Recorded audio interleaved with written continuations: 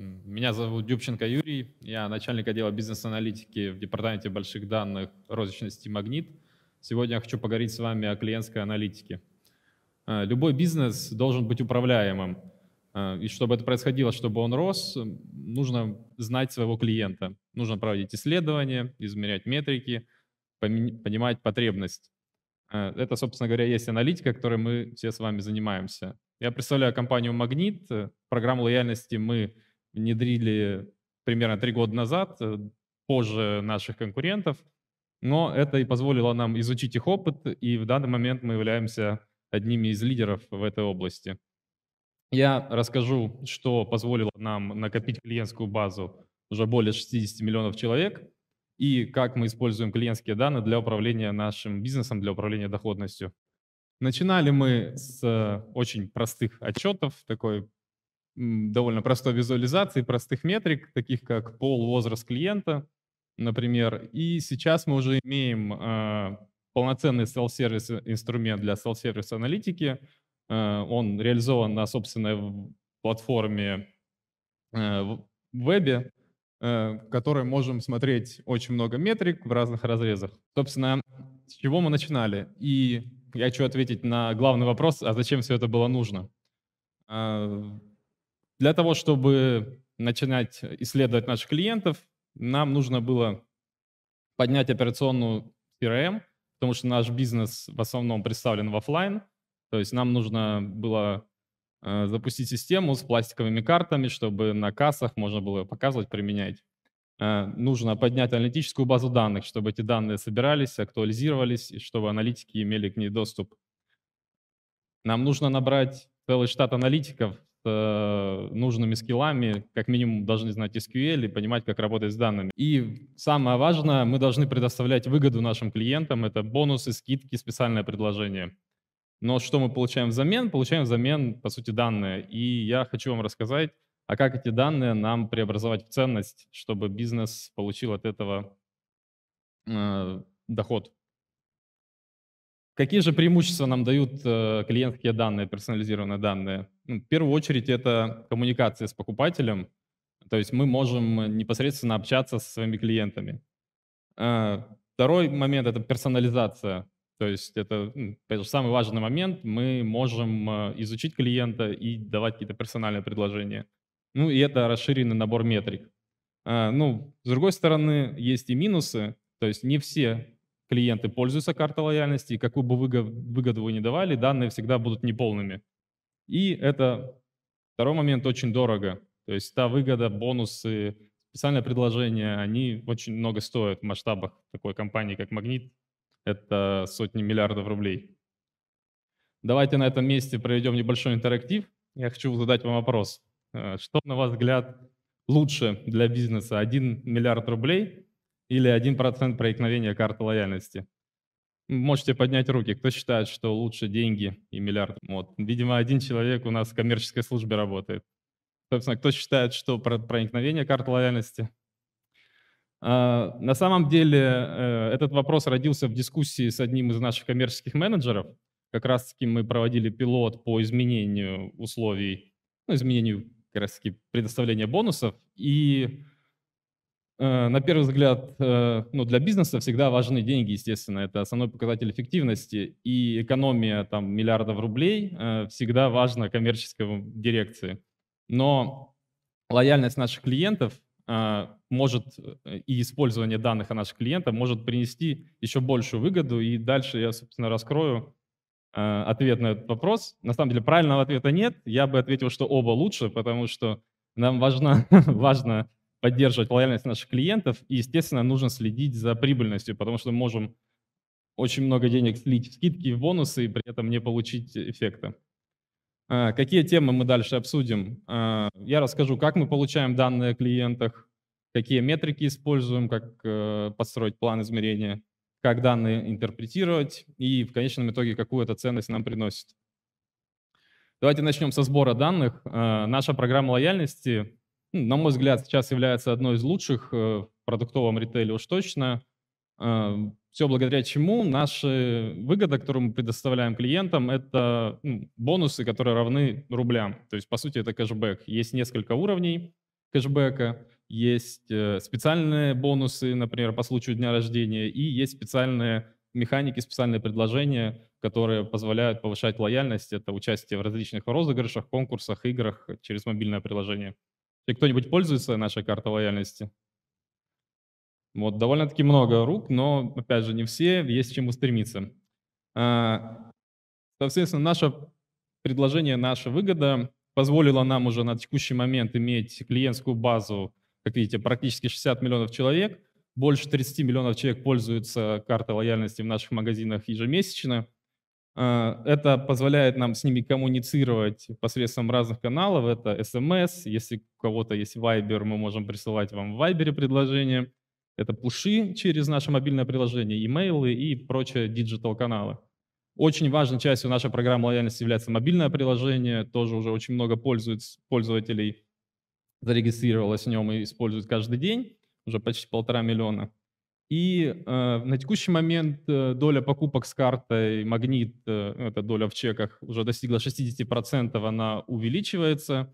Э, в выручке это уже практически 70%.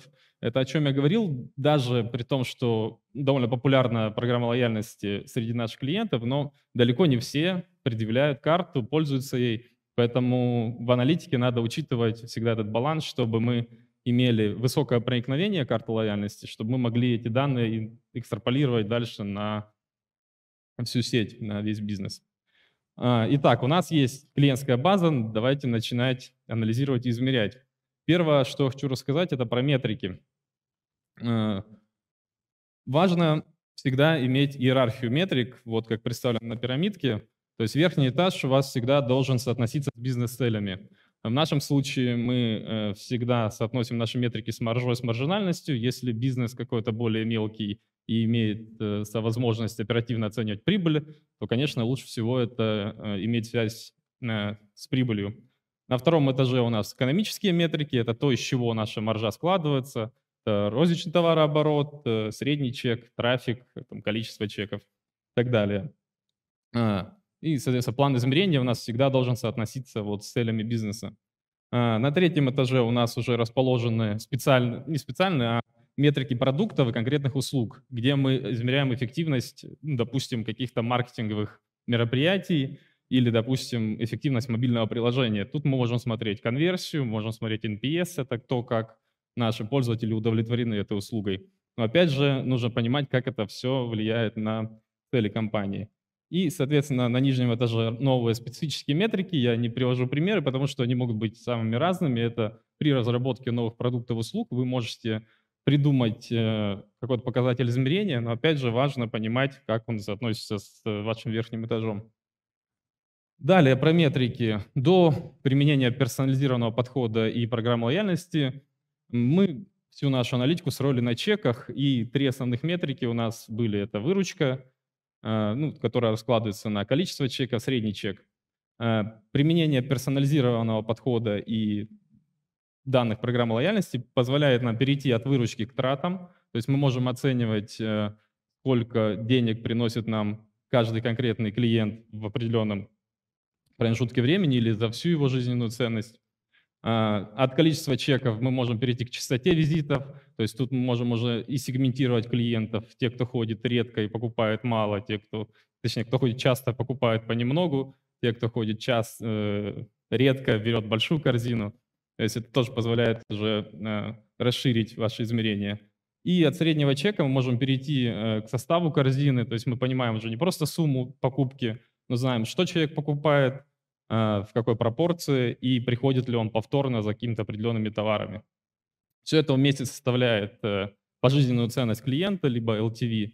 То есть это ну, то самое важное преимущество, одно из важных преимуществ, которое дают персональные данные, персонализированные.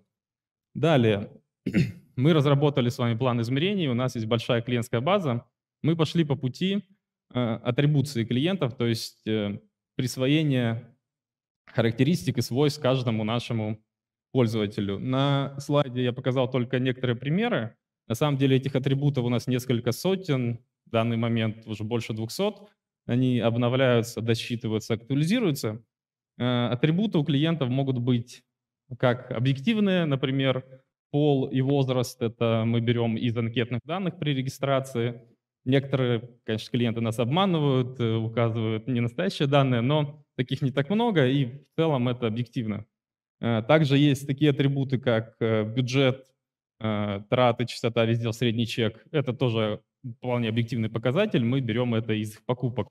Остальные атрибуты, как правило, аналитические. То есть мы берем тот же состав корзины, анализируем, кластеризуем, сегментируем и определяем, например, такие атрибуты, как Э, например, э, привычки в питании, такие как ЗОЖ, например, либо миссии покупок или, например, вот наличие автомобиля. То есть мы, могу для примера рассказать как раз про атрибут наличия автомобиля. Кажется, это не очень важно. Ну, есть у человека автомобиль, причем здесь как бы продуктовый магазин, но э, даже в отдельности, э, анализируя клиентов с этим атрибутом, Э, это позволяет нам, э, например, для формата гипермаркет более точно определять потенциал продаж. То есть чем больше клиентов, которые имеют автомобиль, приезжают за покупками в гипермаркет, соответственно, ну, если у них есть машина, они могут больше на ней увезти, значит, они могут больше купить. И э, таким образом мы можем более точно ну, понимать их потребность и управлять ассортиментом и торговым пространством этих гипермаркетов. В принципе, это можно делать практически с каждым атрибутом, вот, но Э, лучше всего уже сегментировать клиентов и объединять в какие-то большие группы. Э, сегменты также могут быть как постоянные, э, использующиеся там в отчетности в регулярной, так и кастомные под конкретную задачу. Здесь я на слайде показал основные как бы, критерии, по которым мы проводим сегментацию. Это, собственно, данные о покупателях, это корзина, это структура корзины, то есть что покупают больше, что меньше. Это бюджет, тоже, наверное, один из самых важных критериев, потому что доходы у всех разные, и из-за этого могут покупать люди более дешевые товары, либо более дорогие. И география, параметры торговых точек. Наша сеть представлена практически по всей России. Э, это важно учитывать региональные особенности. Там те сегменты, которые мы отобрали для Москвы, могут быть не совсем актуальны там, для Сибири и тоже важно учитывать еще форматы магазинов, так наша сеть мультиформатная, есть магазины у дома, гипермаркеты, аптеки, косметики, новые форматы, такие как дискаунтеры. И опять же, это особенности э, потребления в этих форматах надо учитывать в сегментации, в классификации своих клиентов.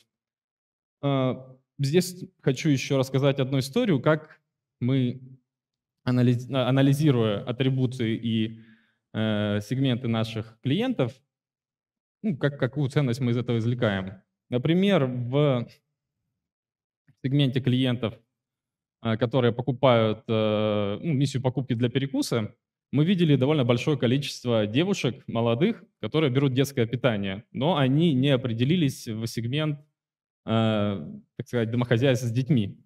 Э, потому что это была маленькая покупка, какие-то 2-3 товара и детское питание. Мы посмотрели вглубь этих чеков, увидели, что это были такое пюре для детского питания и поняли, что это просто люди покупают для перекуса. То есть берут там печенье, какие-нибудь шоколадки и детским питанием пюрешкой закусывают. Это э, помогло нам, собственно, понять эту потребность, и э, мы разместили данные товары в прикассовой зоне, что очень сильно помогло в их продажах, увеличило, собственно, увеличило их продажи и закрыло потребность таких клиентов. Далее, собственно, у нас есть план измерения, мы уже присвоили свойства там, каждому нашему клиенту, есть множество сегментов. Давайте перейдем к интерпретации всего этого. Здесь я расскажу про подходы к аналитике, которые мы сейчас используем. А, два основных подхода, они взаимодополняющие. Это, собственно, ad-hoc аналитика, когда приходит бизнес-заказчик со своей болью, он приходит к аналитику, общается с ним, рассказывает, а какие данные ему нужны для решения какой проблемы – Далее аналитик пишет запрос к базе данных, э, выгружает данные, исправляет, перевыгружает, э, сформирует, допустим, какой-нибудь Excel, аналитическую записку и отдает заказчику. Дальше заказчик с этим работает, как-то исправляет свою боль. И э, это работает на начальном этапе, когда таких болей и заказов становится очень много, невозможно все решать в таком режиме. Поэтому мы начали создавать self-сервис инструмент, то есть когда заказчик приходит не к аналитику, а приходит на инструмент, на веб-интерфейс, где у него представлены различные дашборды, которые уже предустановлены и помогают ему самостоятельно изучить э, нужные ему данные. Э, эти два подхода, как я сказал, взаимодополняющие, потому что э, self-service инструмент мы родили из тех э, отчетов, которые мы делали до этого через AdHoc, то есть мы систематизировали, поняли, э, какие нужны отчеты на регулярной основе, автоматизировали их, создали. И в обратную сторону также работает, когда пользователи начинают э, более подробно и глубоко изучать данные в дашбордах, они все равно хотят еще более глубоко и, и добавить другие, другие какие-то метрики измерения, и приходят все равно за дополнительными данными за ad и это позволяет нам, ну, собственно, понять их уже потребность и исправить, э, дополнить и улучшить э, наши дашборды. Э, далее я приведу просто несколько примеров, которые уже у нас реализованы в нашем self-service инструменте отчетов и что это приносит, какую пользу приносит заказчикам. Например, отчет Катман это отчет для категорийных менеджеров. Раз в квартал проводится ревью категорий, и категорийные менеджеры могут в этом отчете увидеть там полностью свою клиентскую базу, сколько людей покупают эту категорию, какой у них состав по сегментам, какая динамика по этим сегментам, какие потребности, какие миссии категория закрывает, и благодаря этим данным, собственно, улучшать, управлять своей стратегией, стратегией своей категории. Далее дашборд с RFM-анализом, то есть такой продвинутый, по сути, ABC, где мы раскладываем нашу клиентскую базу по принципу, э, как часто люди к нам ходят и сколько денег нам приносят. То есть это ну, грубо говоря, кто приходит часто и много покупает, то заходит редко.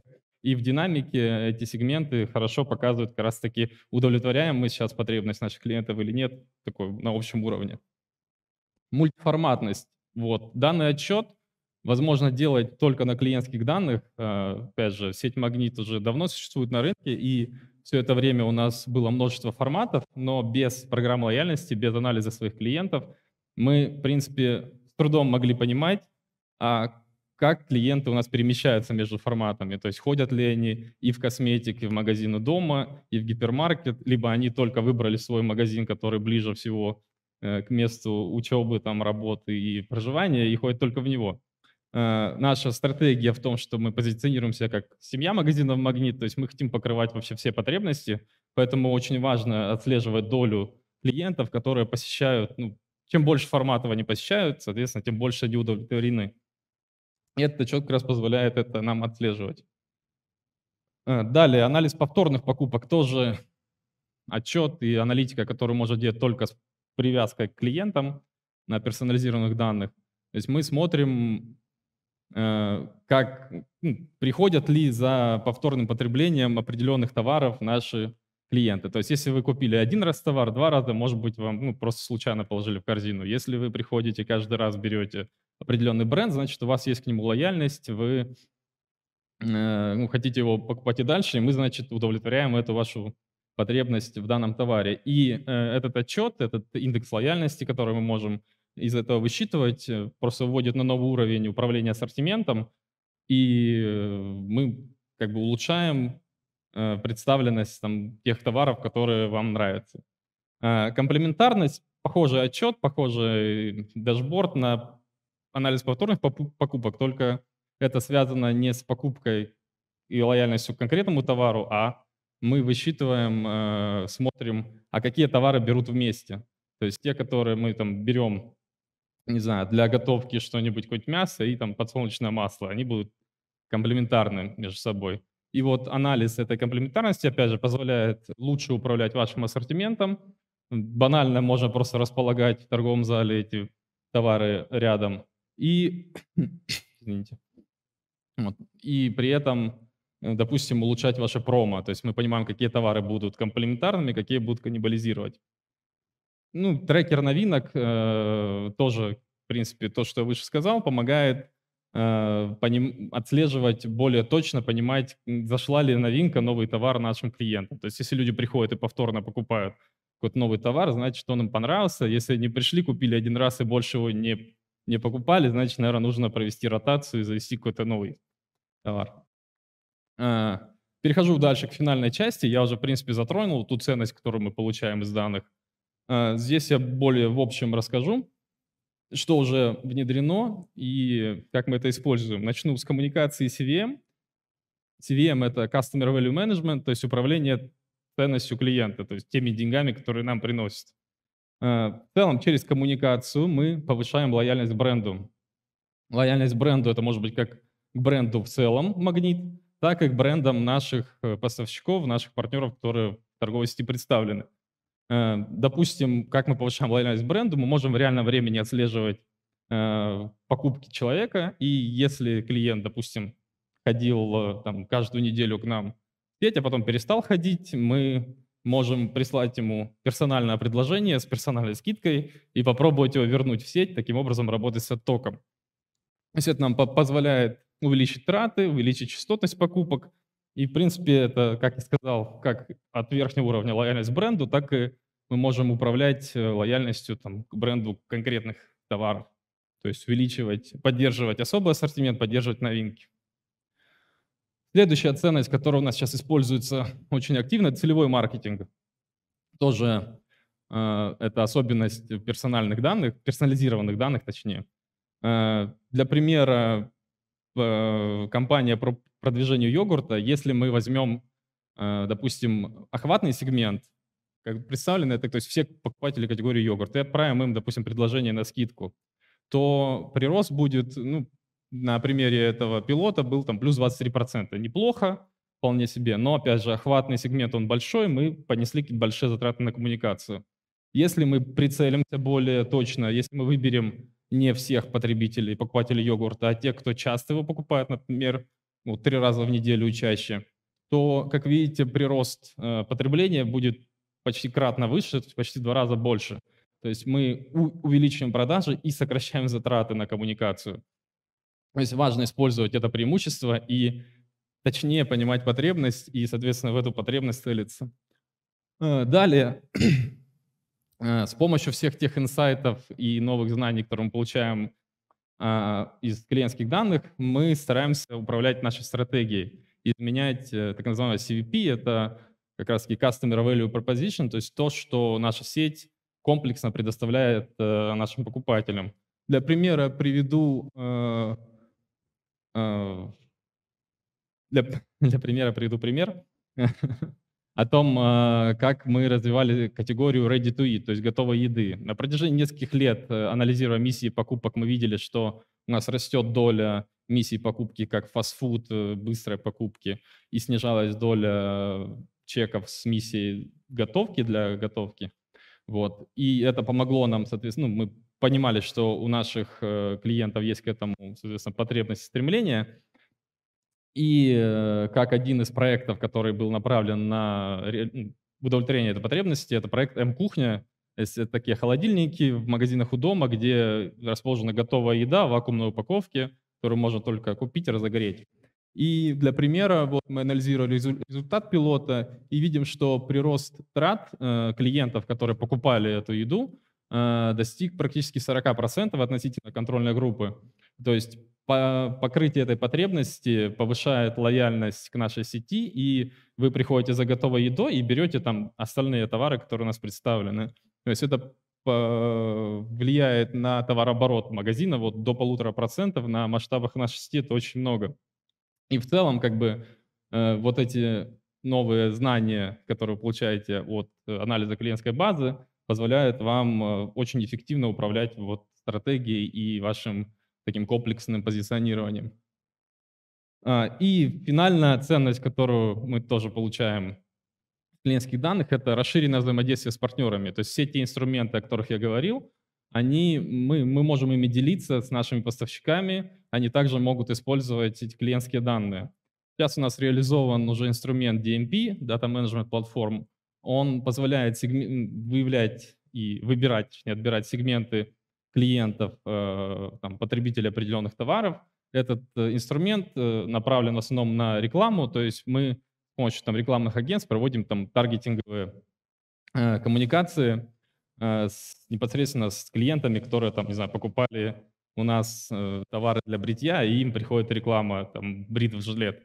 Также CVM, про который я уже упоминал, мы используем его для увеличения лояльности там, бренду нашему в целом, управления там, оттоком людей, но Э, также наши партнеры могут его использовать для отбора клиентов, которые покупают их бренды и управления лояльностью к ним.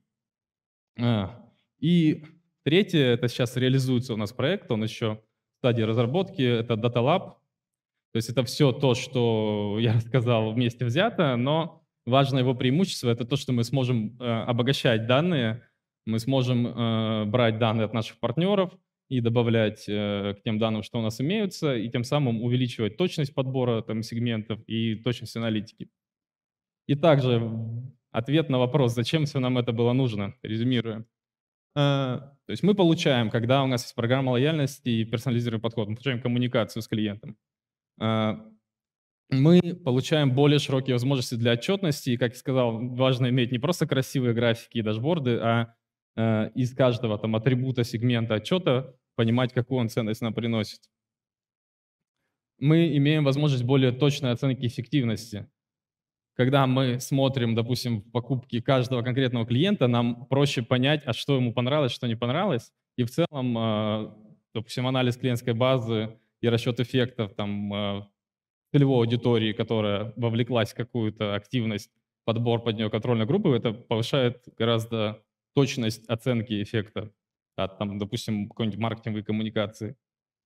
Это управление ценностью клиентов, то есть мы можем понимать, сколько денег нам человек приносит, мы можем по его атрибутам понимать, а кто этот человек, и, э, соответственно, из этого получить данные, а как нам повысить эту ценность и как нам еще больше Э, увеличить лояльность этого человека к нашей сети.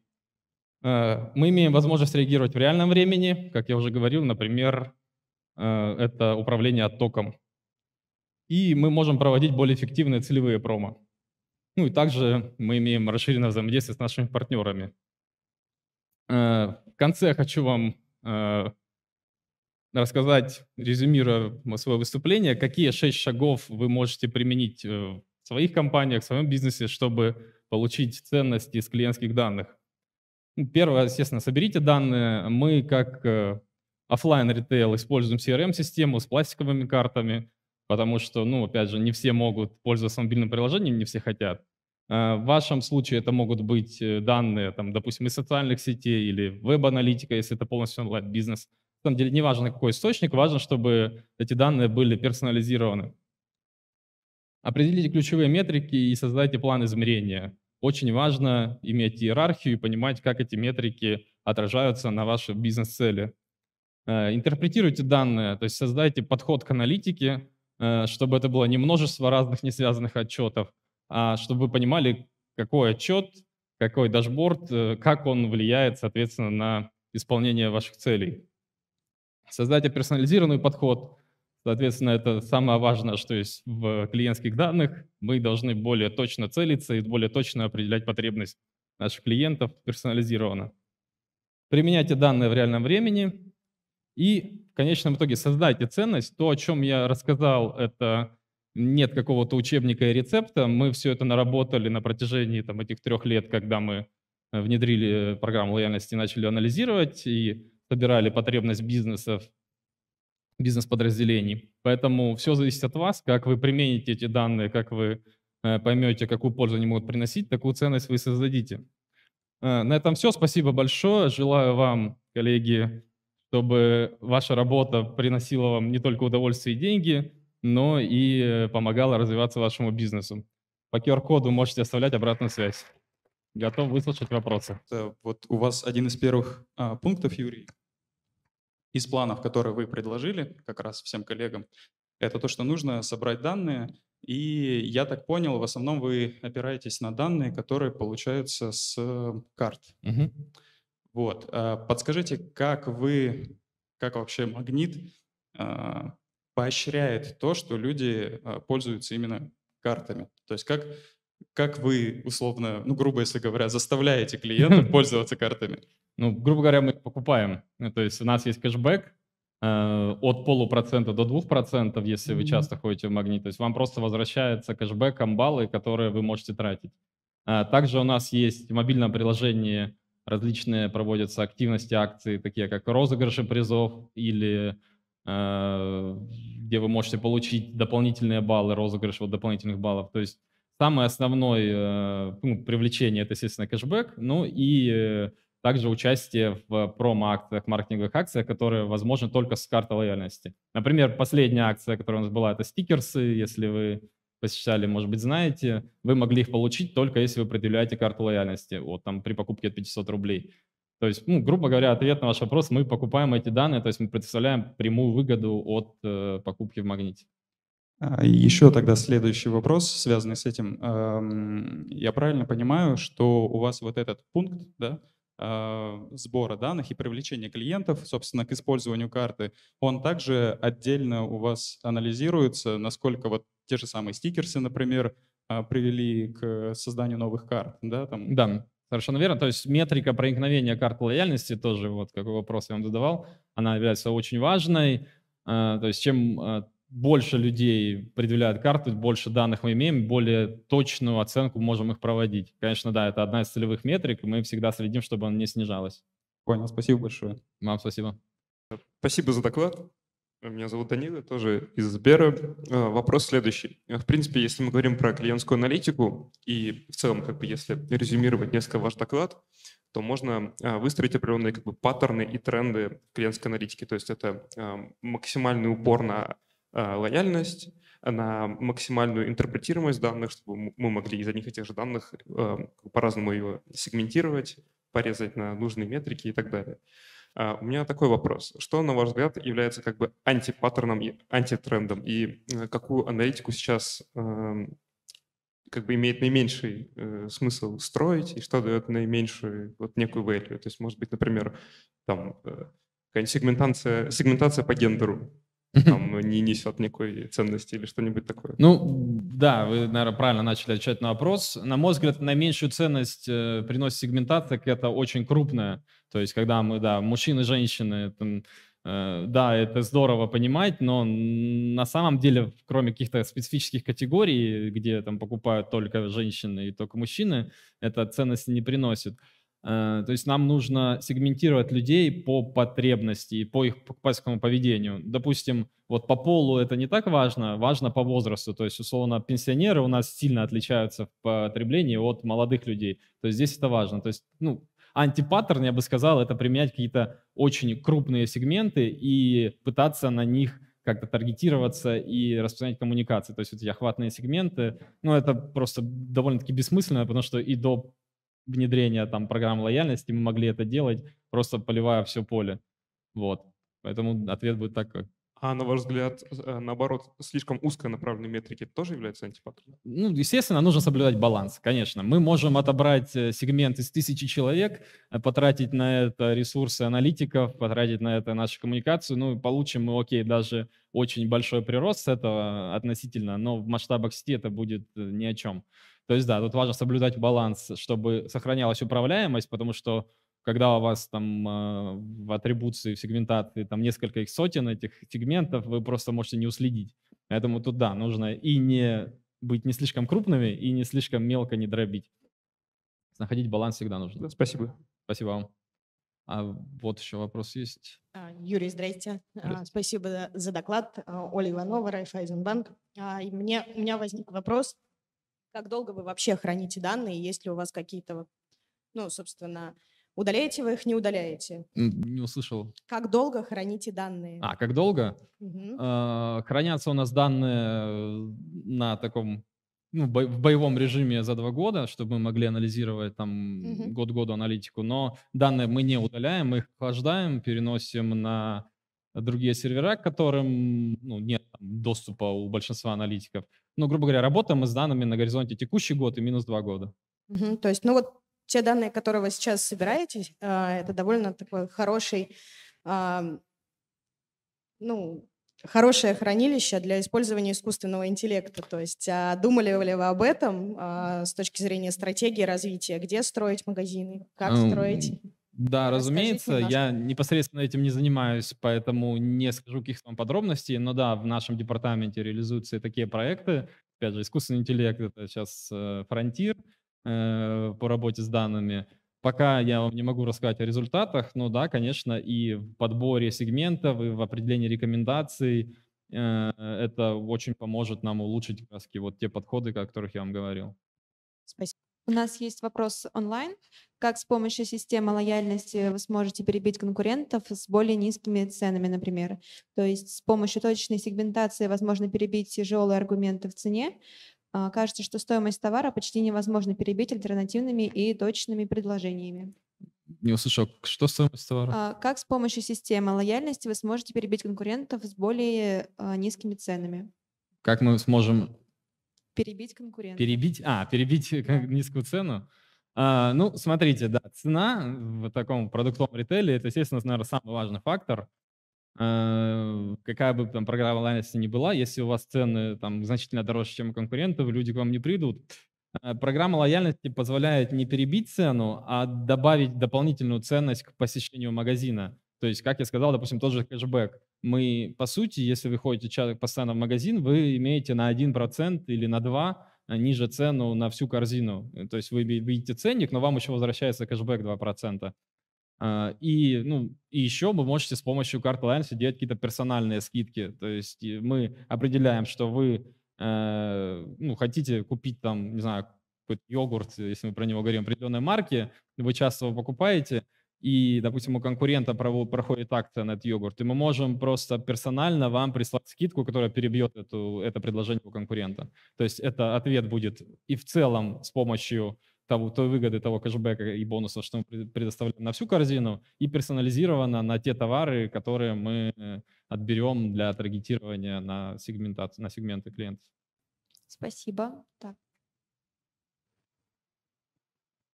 Добрый день, Юрий. Добрый день, коллеги. А, спасибо большое за интересный доклад. У меня, Юрий, вопрос, наверное, касается а, этапа интерпретации данных. Вот можете ли вы поделиться опытом, а, каким образом вы генерируете гипотезы потому mm-hmm. что где что нужно искать. Вот на примере, как вы сказали, э, парные покупки, да, этот пюре и печенюшки. Ну, а, то есть когда мы увидели это. Пришли? То есть это там мозговой штурм, например, или просто работа с данными каким-то образом случайно вычисляются эти паттерны. Mm-hmm.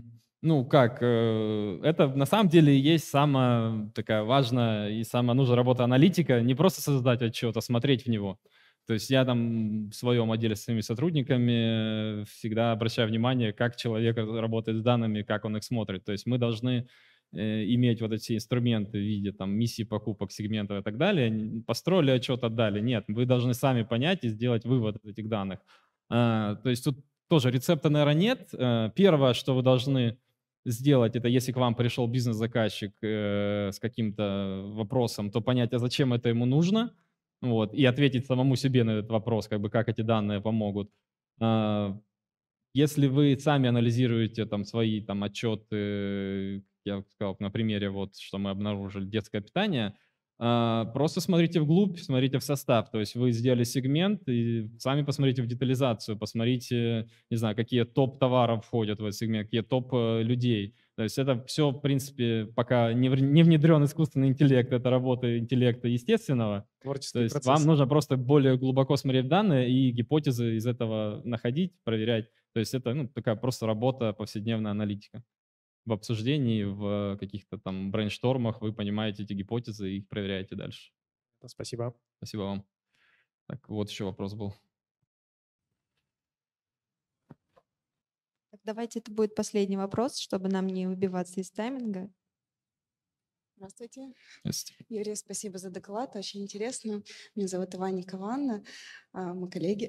Вот.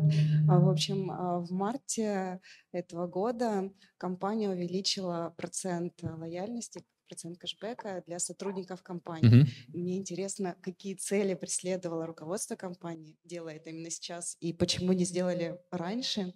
И ну, месяц уже почти прошел, даже чуть больше, а, как бы отслеживается ли ну, динамика в достижении этих целей. То есть мы достигли чего хотели, ну, вернее, наше руководство. Спасибо Да, большое. спасибо за вопрос. Это вот программа по повышенному кэшбэку для сотрудников. Как раз-таки у меня сейчас в отделе в работе ее анализ. Мы как раз создаем дашборд э, для онлайн-отслеживания. Не могу ответить на вопрос, почему не было этого раньше, но могу ответить, зачем это внедрили. А,